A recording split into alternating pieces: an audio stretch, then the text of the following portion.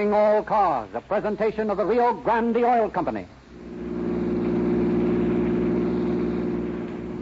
Los Angeles Police calling all cars. Attention all cars. Broadcast 60 regarding a stick-up. A gang of six men just held up the Kreutzer Creamery. That's all. Rosenquist.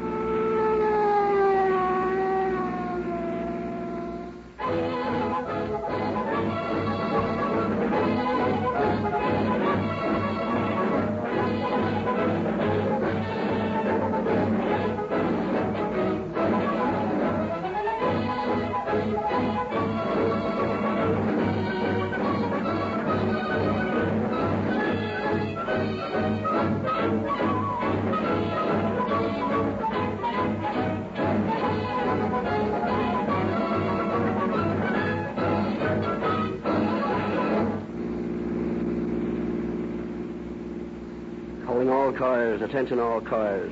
Go to an independent service station selling Rio Grande cracked gasoline. There's one in your neighborhood. Learn why more police cars in California and Arizona use Rio Grande crack than any other gasoline.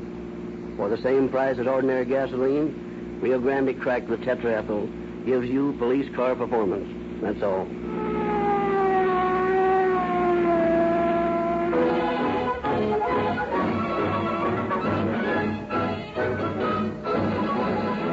And now it is our pleasure to introduce to you Captain Harry Seeger, in command of the robbery and narcotics squads of the Los Angeles Police Department. Captain Seeger. Good evening, friends. We whose life work it is to keep the peace have all heard ourselves called dumb coppers and big flat feet. Our reaction to such epithets is not, as might be supposed, one of anger, but one of tolerant amusement. The average police officer each day is called upon to employ more practical psychology than many a professor of psychology has ever dreamed existed. The modern policeman uses his brains much more often than he uses his gun. He is a highly trained specialist, as capable and important a member of society as is your dentist or your lawyer or your doctor. The story we are bringing you tonight from our confidential files is an excellent example of the way two of the men under Chief Davis's command, faced possible death with their wits.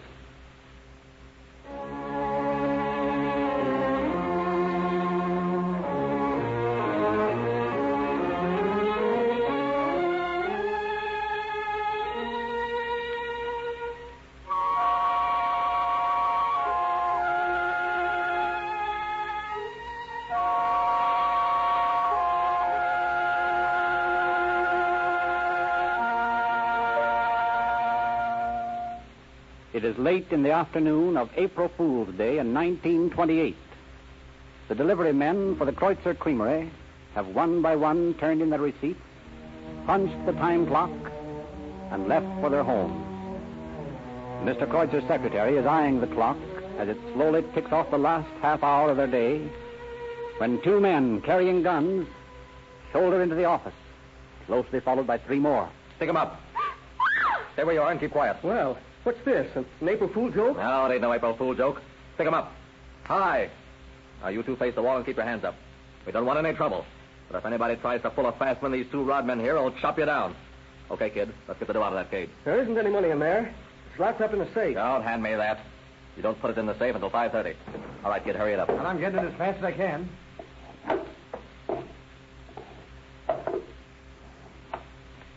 Dump it all into this bag.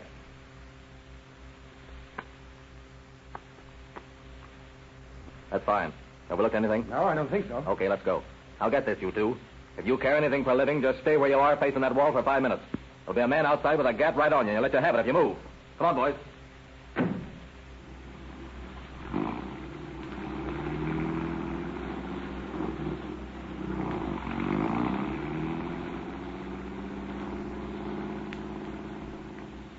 Oh, I can't stand the suspense any longer. Uh, do you suppose there's really someone? Sure there is. They were tough guys. Well, well, I think they were just bluffing, and anyway, my arms are getting tired. Better do as he said. I- am just going to take a take a little look. Don't. I hear footsteps. He's heard us talking. He's coming back to shoot us. Well, for the love of Mike, what's the big idea? You two playing games? Oh, it's you, Harry. Say, is there anyone standing around outside? No one I noticed. What's the matter? Give me that phone quick. We've been robbed.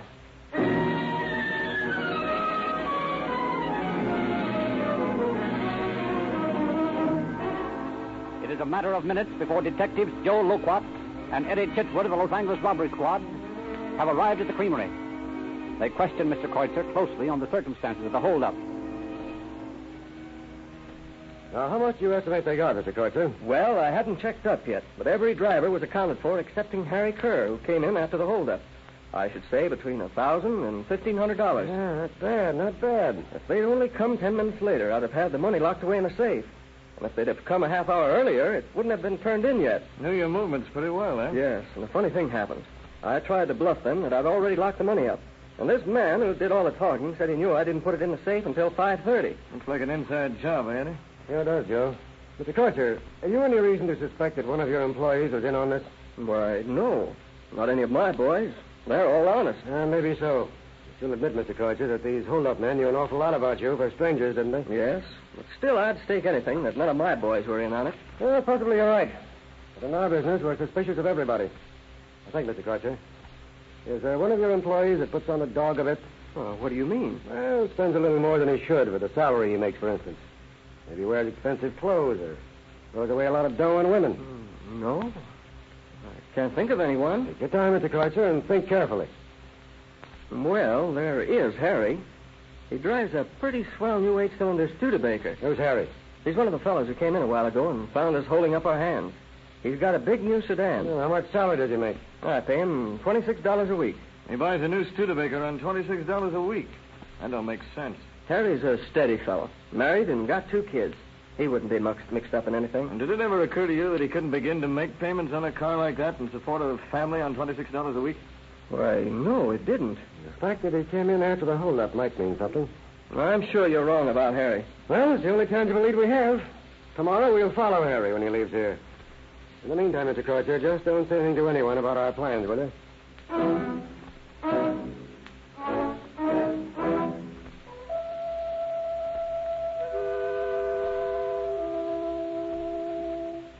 The next day, Chitwood parked his own car near the creamery but passes through it. Shortly after 5 o'clock, he sees the suspected Harry Kerr drive out of the creamery yard in a new Studebaker sedan. Chitwood follows the new car across town to a rooming house on East First Street, where Kerr parks. Sauntering into the house behind the suspect, Chitwood observes that he enters room 16. He immediately calls on the landlady. Yeah, what is it? I'd like some information about the tenants of room 16. What is it you want to know about them? Well, who occupies the room? Well, I don't know exactly who lives there. Quite a number of young men go in and out. Yes, but someone must have signed for it. Who was that?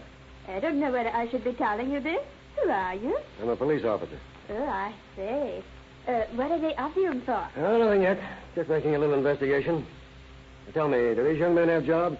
Well, not so you could tell. They keep their regular hours. Do they pay their rent regularly? Oh, yeah, yeah. I don't have no trouble with them that way. How many young men come in and out of that room? Well, I should say five or six. Any girls? Hey, what sort of a place do you think I run here? Don't get excited. I'm not trying to pin anything on you. I want to find out about these guys, and you might just as well help me as not. Well, uh, yeah, there are two girls who spend a lot of time in there. Hmm. Now, who's the man whose name this apartment is registered? Uh, his name is uh, Bob Kerr. Sure it isn't Harry Kerr. No, no. Harry Kerr's his brother. He comes here sometimes. Know the names of any of the others? Yeah, I do. Okay, I get this. I'll be back a little later. While I'm gone, don't tell anybody that I was here. Above all, don't let those people in 16 know that I asked you all these questions. Yeah, yeah. Remember now, keep quiet, because you're playing with dynamite. Yeah.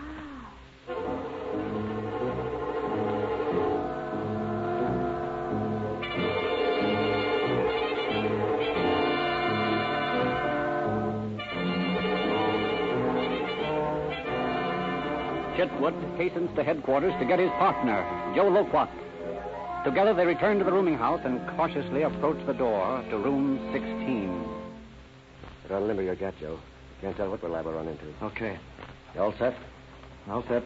Let her ride.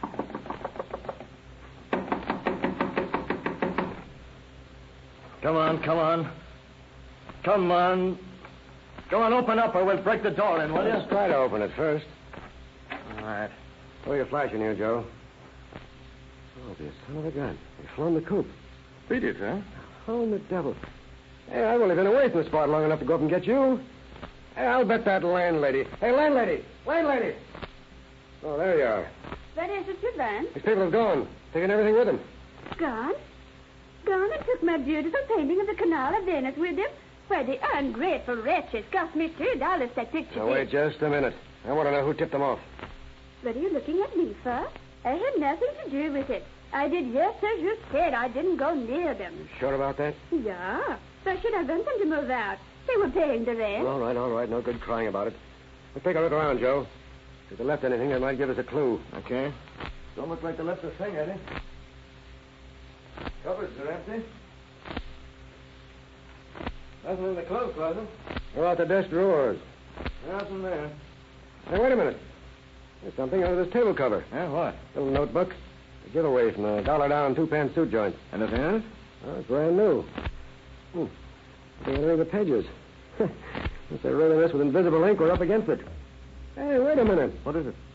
Telephone number here in the center of the book.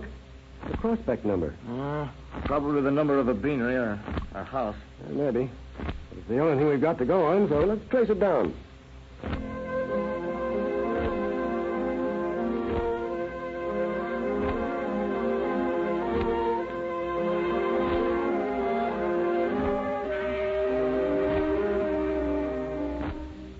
Chitwood and Loquat begin at once to trace down the mysterious phone number.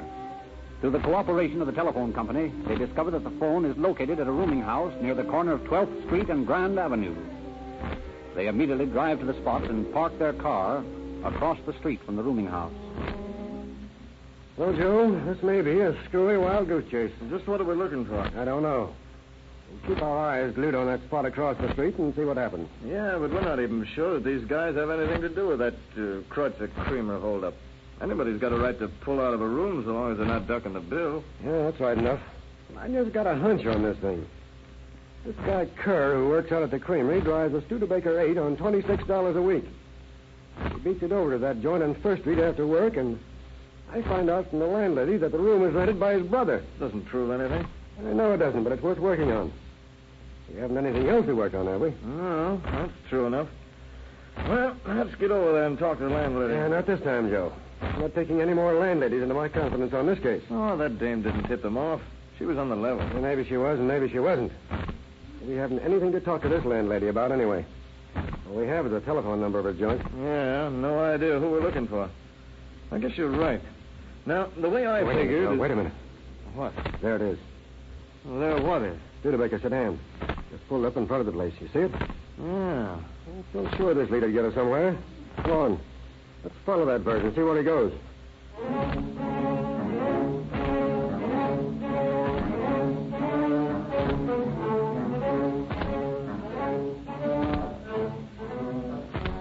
Careful to avoid being seen, Detective Chitwood and Loquat follow the strange driver of the Studebaker into the rooming house.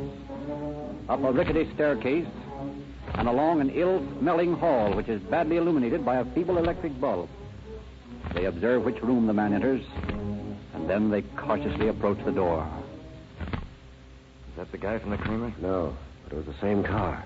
Must have been Kerr's brother. Tough looking customer. Sure was. On your toes now, Joe. Anything might happen. Listen, you can hear what they're saying in there. Hmm. Let's get all the stuff out of the other joint? Yeah, sure thing, Bob. Good. Took the kid brother home. Uh, what was the big idea of pulling freight so quick? Oh, I just smelled a beef. What do you mean, smell a beef? Well, you've been on the racket as long as I have, kid. You'll get so you can just feel it in your bones when something's about to break against you. I don't get you. What, you see some bulls hanging around that First Street joint? Oh, but I just had a hunch. It don't sound like stick-up artist to me. Might be anything. Let's get a load of this. Man, I'm glad to get out of that dump anyway. That landlady was too nice. I don't trust landladies who aren't suspicious. Yeah, that's right. Got any ideas for the next job, Bob? Yeah, I've been giving it some thought. You know that bank just around the corner ought to be a pseudo. Now, what do you think, Joe? Maybe you're right. Too many people out there. Yeah, but they're going places fast. They're in automobiles. They're not driving the sidewalk. When would you knock them over? About a quarter to three some afternoon, and they've got lots of dough in the bills. Well, I figure that we can take plenty of time casing the joint. That dough we got at the creamery yesterday will take us for a couple of weeks. You're right, Eddie. These are our guys. Uh, you better stay here while I'll go get some more men from headquarters. And by that time, maybe they'll all take it on the lam again. Well, what do you want to do? We'll take them ourselves. You're crazy, Eddie? There's five or six of them in there, and only two of us. Why, they'd make sieves out of us. Well, not if you use psychology on them. Psychology? What good is psychology when you got a rat holding an automatic up against you? Psychology's helped me out of spots before. Like the time you had them Japs up on top of the hill? Oh, maybe. Well, you were just lucky that time. I'm going back to headquarters with some more of the Now, boys. listen here, Joe. The last time we closed in on a mob, we had about 20 of the boys all around the joint. A couple of them nearly got bumped off when the shooting started. There's no sense in risking anybody else's neck. We can handle this. Well, I don't see how you and I are going to manage a mob like that. First, we got to get a break. Once I can get inside, I'll look the place over and then decide what to do. Listen, Eddie. Those guys are tough. Ah, no, they're not. I can outsmart them. All I need is a break. Quiet. Somebody's opening the door. Duck back here around the corner of the hall. Hey, where you going, Sam? I'm just going downstairs for a pack of cigarettes. Yeah, well, don't let no big bad policeman pick you up, Kitty. Uh, don't worry, I can take care of myself. That's our break, Joe. What do you mean, Eddie? When that monkey comes back with his cigarettes, I'm going to follow him in as though I was with him. And get bumped off? Yeah, we'll see. I'm gambling that every one of these mugs will think I'm a pal of the other one. I'll say prayers for you. I know you won't. You'll be right there by the door. When I say shoot the works, you wander in. Have your gun ready, but keep it out of sight. And this is what you call psychology? Yep. I call it suicide.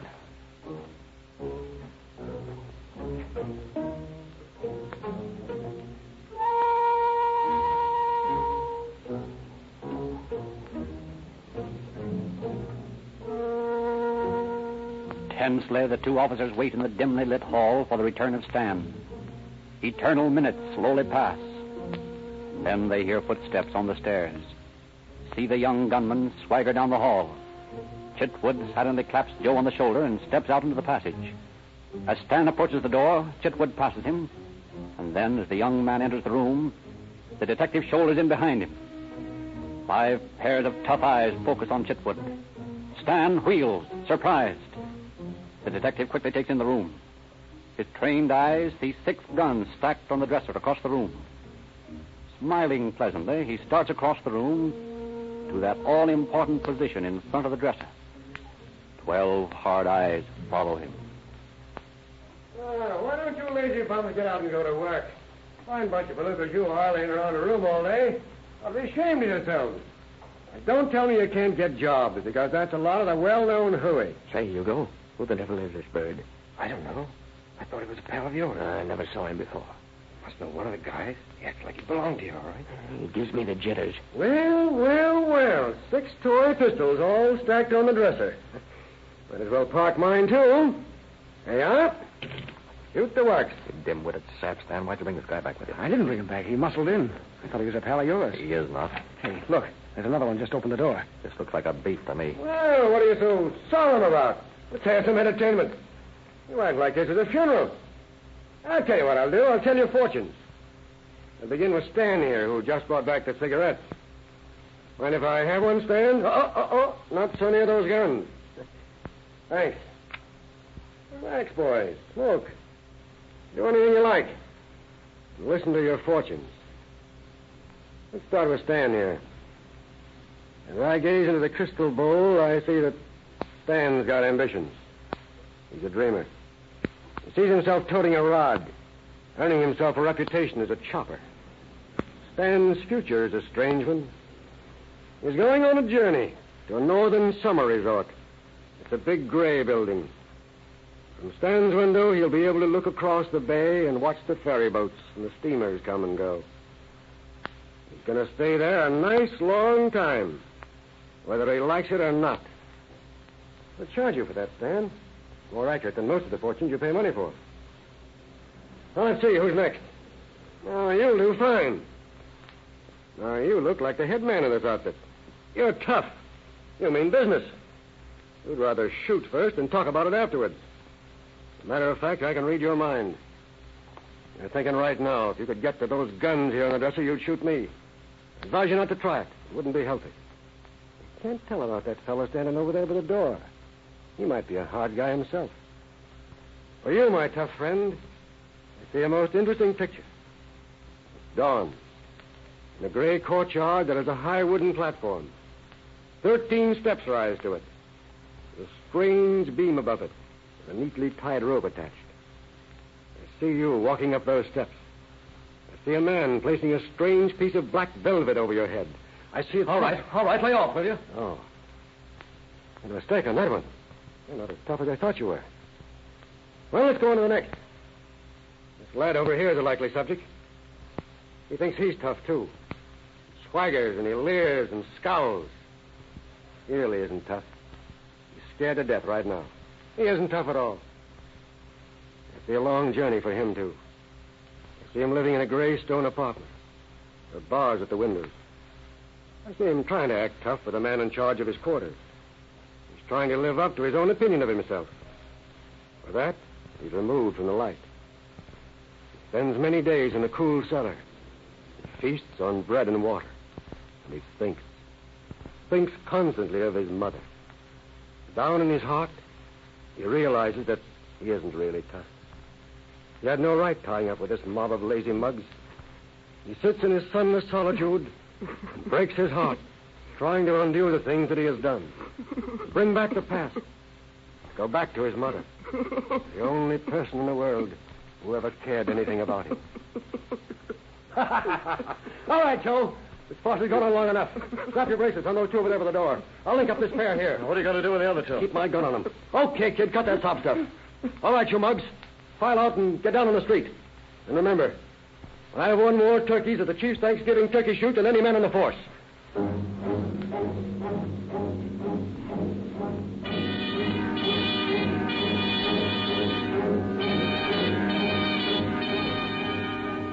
Shuffling along the dark hill and down the creaky stairs, the strange procession makes its way to the street. Chitwood herds them toward the Studebaker sedan parked by the entrance. Eddie, we can't ever get all those guys into headquarters. Let me call for the wagon. Won't be necessary, Joe. I know how to pack them all right. Okay. You two that are cuffed together. Into the back seat with you. Come on, push over there to the left. No, you, without the handcuffs. Sit beside him. Go on, get going. Say, what's this all about? Save your breath. Get in there. All right. Next to with handcuffs. Climb in and sit on his lap. Hey, listen, he's too heavy. That's fine. It'll keep you from pulling any funny business. Go on, get in. That's fine. That leaves Stan. You drive this car, Stan? Yeah, I suppose Good. so. You drive. Joe, you sit in the front seat with Stan. You get this, Stan. Joe will have his gun on you all the way to headquarters. You'll go straight over Grand Avenue to Temple Street, straight down Temple to Central Station. You'll drive at 10 miles an hour. I'll be in the police car right behind you. You'll have all your gats in the front seat beside me. I'll be driving with my bumper right up against yours.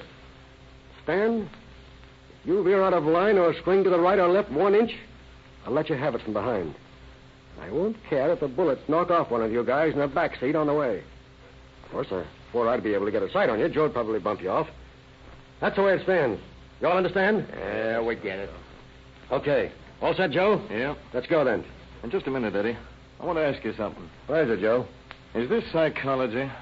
Well, yeah. Sort of applied psychology. Yeah? Guess I'd better study up on it.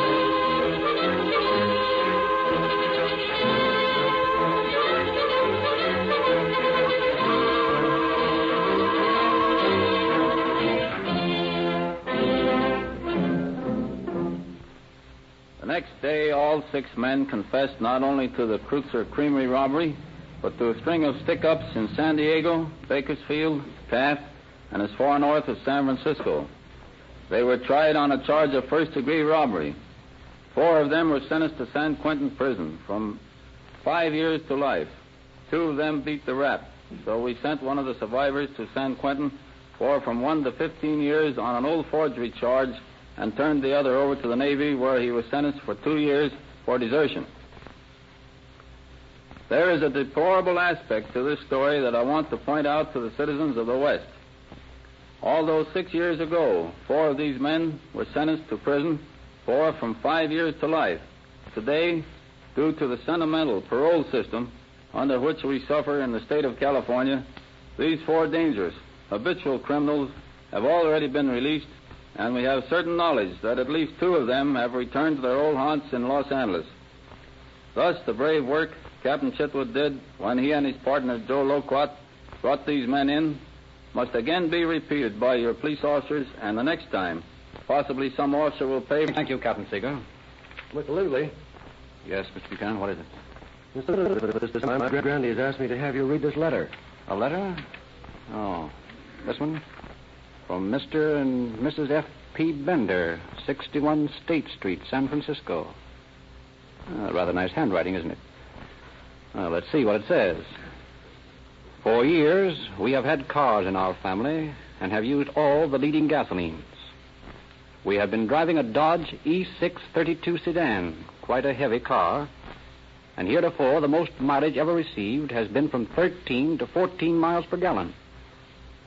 On Sunday, we took our usual trip, and for the first time used Rio Grande cracked gasoline. And believe me when I say that we were the most surprised motorists to learn that we received 18 miles to the gallon. What do you think of that? Well, let's see. Uh, Rio Grande gives them five more miles per, ga- uh, per gallon. Not bad, is it? Well, anyway, she goes on to say here now we know the gasoline for us and intend to pass the word along. This is not written for any reason other than to express our appreciation, and it is the absolute truth. Well, uh, that's an interesting letter, Mr. Buchanan, but it sounds almost too perfect to me. Are you sure one of your friends didn't write it? I'm afraid some of the audience might be dubious, so I wrote to Mr. and Mrs. Bender in San Francisco and asked for permission to read the letter.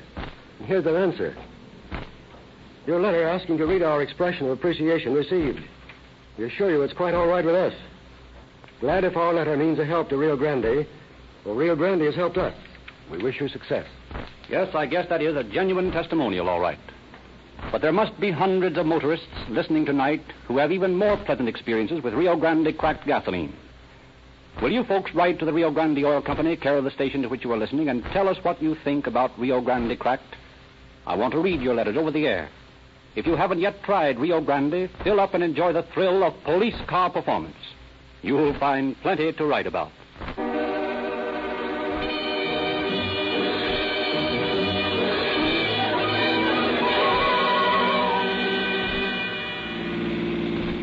Los Angeles Police calling all cars. Attention all cars. Cancellation broadcast 60 regarding a stick-up. Suspects in this case are now in custody. That's all. Rolls and close. Did you get your free copy of the sensational new publication, The Calling All Cars News? The demand was so great after last week's broadcast that many Rio Grande stations ran out of these free copies. Don't miss this first issue. Go to the Rio Grande dealer near you and get your copy of Calling All Cars News. It's free and full of news about police, crime, movies, radio. It reveals the true story of the ghetto kidnapping.